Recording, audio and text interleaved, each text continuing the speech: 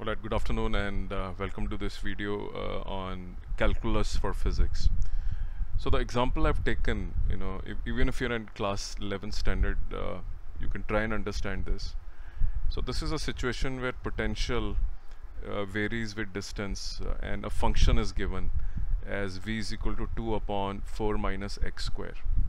We have to find the electric field at x is equal to 1 meters and we know that electric field is given by derivative of potential with respect to x with a negative sign. So this question is wholly solely you know concentrated on the concept of derivative. If you don't know how to take derivative or you know the how to do differentiation you will not be able to solve this.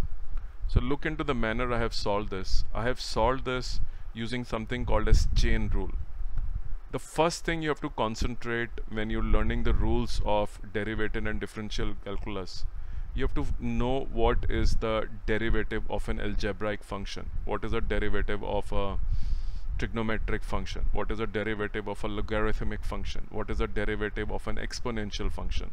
What is the derivative of an inverse function? So there are many functions and there is a standard list available which needs to be memorized for you know finding the rate of change of one physical quantity when the other quantity changes by a very small amount. So here the distance changes by a very small amount that results in change in potential. And the ratio of change in potential to the change in distance is called as rate of change of potential with respect to change in displacement or distance. It is known as electric field. So you can see I have applied chain rule to calculate the electric field function and it has come out to be minus 4x upon 4 minus x square. In fact I'll just correct it.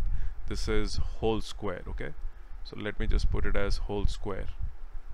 But fundamental point I'm trying to tell you is learn differential calculus in a very detailed manner. Learn about the chain rule which will be repeatedly used in class 11th and 12th I hope this helps. Thank you very much